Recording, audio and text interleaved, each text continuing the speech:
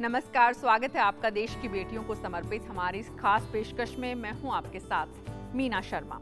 इस कार्यक्रम में हम आपको ऐसी बेटियों से रूबरू कराते हैं जिनका जीवन संघर्ष का सफ़र है, मगर उन बेटियों ने हार नहीं मानी और आज वो अपनी शर्तों पर वो सब कुछ कर रही है जिसकी चर्चा दुनिया करती है। आज मिलिए राजस्थान की एक ऐसी ही बेटी से, जिसने ग्लैमर की दुनिया का करियर छोड़कर बेसहारा कमज़ोर लोगों के जीवन को संवारने का फैसला किया।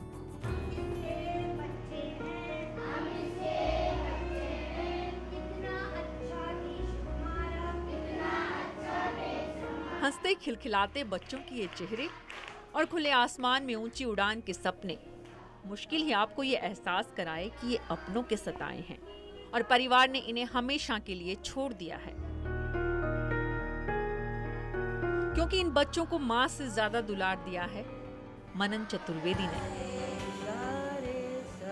महज 40 साल की उम्र वाली इस महिला के परिवार में तकरीबन 110 सदस्य हैं और मनन इनकी माँ भी है। तो पिता भी। मैंने ज़िंदगी में एक चीज़ सीखी है जुनून पैशन। जैसी आपकी सोच होती है ना ईश्वर उसी हिसाब से आपको ताकत देता है।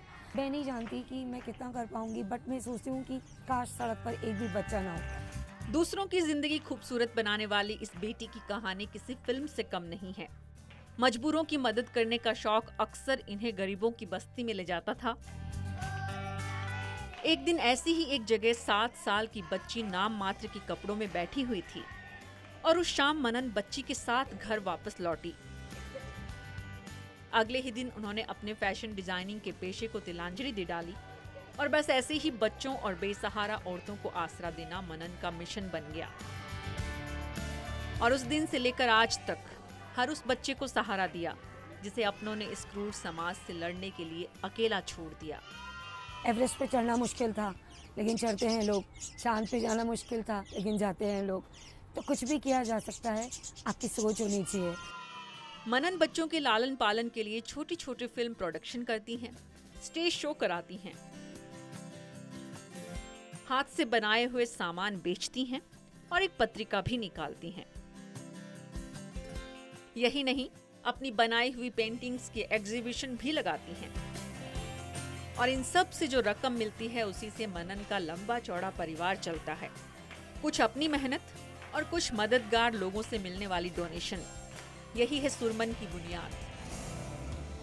उन्नीस से शुरू हुआ मनन का घर सुरमन महज एक अनाथ आश्रम नहीं है, बल्कि एक भरा पूरा परिवार यहाँ रहता है। और परिवार की मुखिया के चार पक्के उसूल हैं। पहला, सरकार से मदद नहीं लेनी है। दूसरा, बच्चों को घर का बना खाना ही खिलाना है। तीसरा, किसी के उतरे कपड़े मंजूर नहीं। और चौथा, इस घर में जो आया, वो इसी परिवार का हो गया।